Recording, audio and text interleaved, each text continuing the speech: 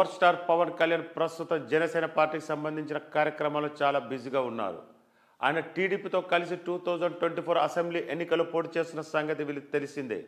అయితే ఎన్నికలకు ఎక్కువ సాయం లేకపోవడంతో పవన్ పార్టీ కోసం ఎప్పటికప్పుడు అందుబాటులో ఉంటున్నారు. ఎమ్మెల్యే అభ్యర్థుల ఖరారు ప్రచార కార్యక్రమాల రూపకల్పనలో మునిగి తేలుతున్నారు. దీంతో ఇప్పుడిప్పుడే మళ్ళీ పవన్ సినిమా షూటింగ్కి వెళ్ళే అవకాశం లేదని ఫ్యాన్స్ ఫిక్స్ అయిపోయారు.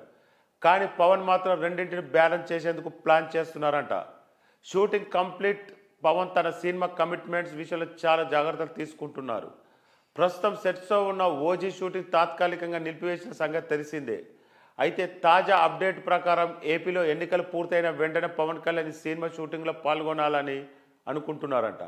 అంటే దాదాపు ఏప్రిల్లో ఇది జరిగే అవకాశం ఉంది.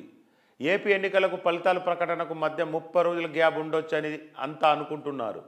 ఇక ఓజీ సినిమాకు గాను పవన్ కళ్యాణ్ కేవలం ఇరవై రోజుల షూటింగ్ బ్యాలెన్స్ ఉంది. దీంతో ఎన్నికలు ముగిసిన వెంటనే షూటింగ్లో అడుగుపెట్టి ఫలితాలు ప్రకటించే ముందే తన షెడ్యూల్ పూర్తి చేయాలని పవన్ అనుకుంటున్నారంట. ఇలా జరిగితే షూట్ ముగిసిన వెంటనే పోస్ట్ ప్రొడక్షన్ పనులు మొదలుపెట్టే సెప్టెంబర్ ఇరవై ఏడున అనుకున్న టైంకు సినిమాను రిలీజ్ చేయవచ్చని పవన్ ఆలోచిస్తున్నారని టాక్.